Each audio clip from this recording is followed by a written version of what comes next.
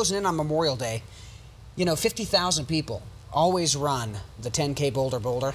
Chances are you're getting excited too because it's coming close if it you're running it. Definitely is. And I had the opportunity, the privilege to talk to Olympic gold medalist Frank Shorter about really getting through those last minute nerves.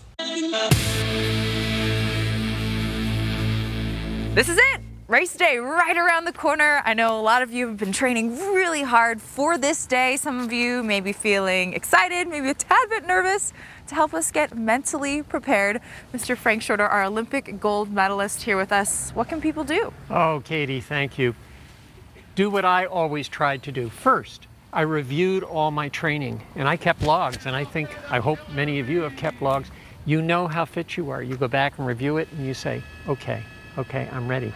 In my runs leading up to today, I visualized myself in the race. And so I go back and I review that and I'm thinking about the race itself. The other is during the race, set your goals reasonable and attainable on a bad day.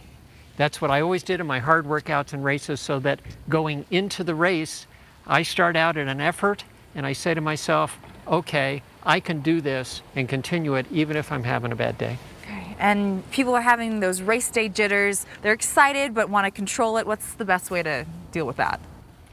Just say to yourself, it's good. It's good to be nervous to a certain point. And the other thing I say to myself is, you know, and eventually the gun's going to go off. and, and the way I've, I've always described it is it's like being on a high dive. When the gun goes off, you're jumping towards the water, you're going in it. And, and I've always sort of viewed races like that. I said, as long as I can get myself to that point reasonably calm, and then the gun goes off and it starts, it's all going to be fine. And you're ready, you cross that finish line, you have your Oskar Blues beer, everything's gone all right. And you find all these other people who want to talk about it with you. It's the shared effort, it's the shared achievement. And the other thing we talked about is people, if it's their first race, uh, in that first race, the goal is to finish. That's it. And so, just in that first race, get into a pace you think you can maintain, back off 20 or 30% because you just want to finish. Visualize it, finish it. Good luck. Everyone's been training so hard. To learn more about our nine week training plan, you can visit thedenverchannel.com, brought to you by Revolution Running. We have all the information for you there. Good luck. and hopefully the weather is as good then as it is today. No kind kidding. of perfect weather today for mom. Yeah.